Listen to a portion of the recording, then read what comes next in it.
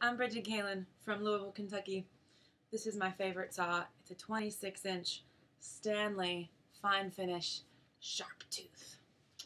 And I'm going to play a song that I got uh, that was requested today. It's a Leonard Cohen song called Suzanne. Pardon the karaoke track.